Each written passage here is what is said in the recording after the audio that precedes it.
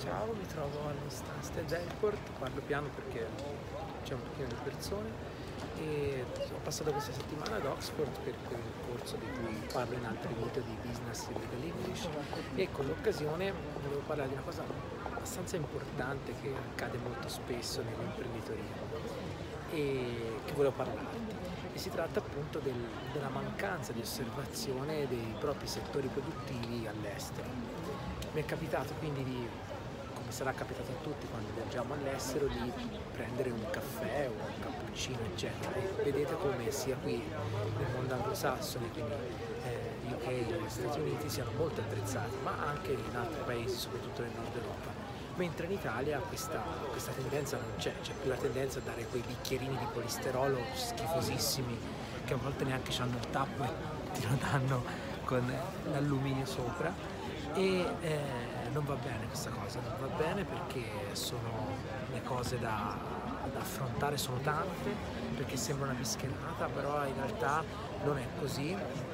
perché comunque il mondo sta andando avanti, fra qualche giorno a Milano aprirà Starbucks, quindi da lì sicuramente apriranno altri punti vendita, il bar, il bar tradizionale o si adegua o sparisce, perché comunque i ragazzi cercano sempre,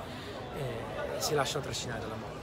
Ora ho preso l'esempio del bar, però gli esempi possono essere tantissimi perché a me capita spesso che vengano nuovi imprenditori o comunque start-up che vogliono aprire un'attività di cui sostanzialmente non hanno assolutamente idea. Quindi una cosa fondamentale è se vuoi aprire un nuovo settore produttivo sicuramente è quello di andare a vedere, non fisicamente, poi se puoi fisicamente meglio, ma anche attraverso canali web come queste attività vengono sviluppate all'estero così da prendere le idee o da capire quali errori sono stati fatti oppure da capire cosa non si deve fare per sviluppare questo tipo di idee all'estero. E questo è un consiglio che io voglio dare sempre con questo vi saluto quindi ogni volta prima mi raccomando quando si vuole set up your business quando vuoi in, intraprendere una nuova attività di impresa, ok, va bene tutte le questioni giuridiche che quotidianamente affrontiamo, però non ci dimentichiamo di guardare a quella che è la concorrenza e soprattutto a quella che è la concorrenza magari anche nei paesi, fra virgolette, un attimino più avanti, ok? Bye bye.